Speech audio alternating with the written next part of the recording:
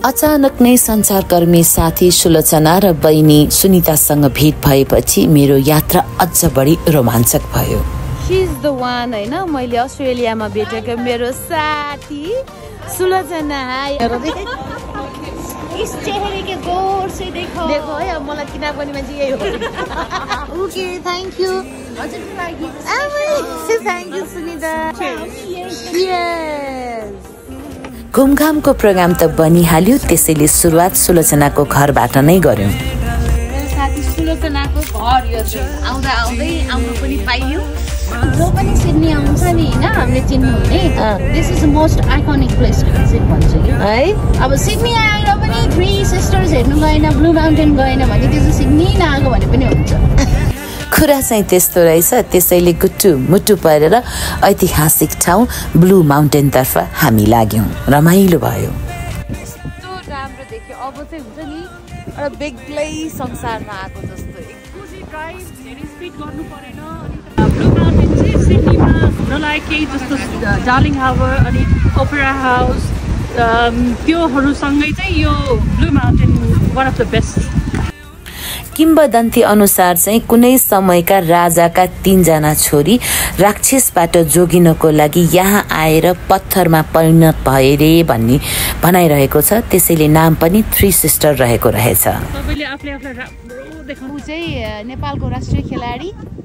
तर हो चाहिँ मेरो फुच्ची कामै छोडेर इन्जोय गरिरहेको छ। हेर्नुहोस् न।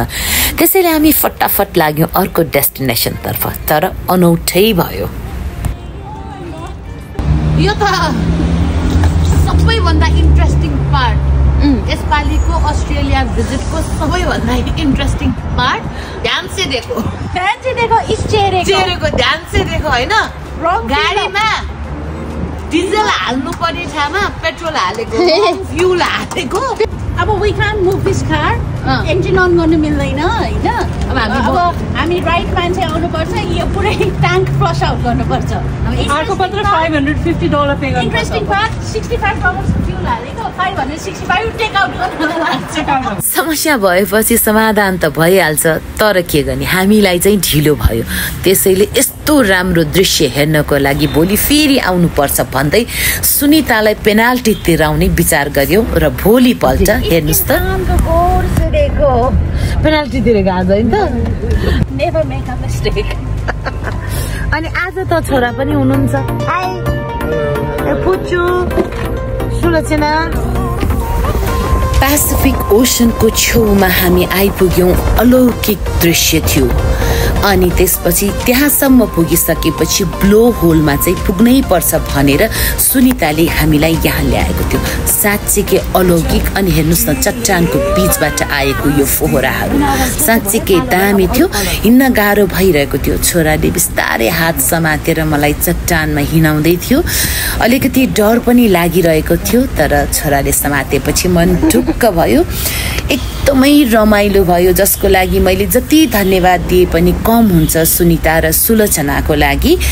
एकदमै अलौकिक दृश्यमा मन रमायो तर छोराले बिचबिचमा मजाक गर्न भने छुटाएन।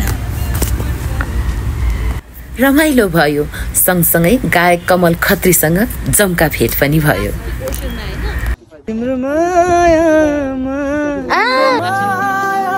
उसको र मेरो चाहिँ कस्तो राम्रो यो बन्द आँखामा भिडियो मैले गरेको अनि संसार भुलाउने। ल गएको होइन थ्याङ्क यू सो मच आज मलाई यसरी यहाँ लिएर आएकोमा सुनितालाई र स्पेसली सुलोचनालाई। है? यात्रा सकियो फर्किने दिन पनि आयो। हजुर। फर्किने बेलामा जहिले पनि आफ्नो बच्चालाई छोड्नु पर्ने पीडा मन त दुख्छ नै। सिउ सुन सानो। आफ्नै बच्चासँगको बिछोट मन त लास्टै दुख्ने। कुछ पाकर खोना है कुछ खोकर पाना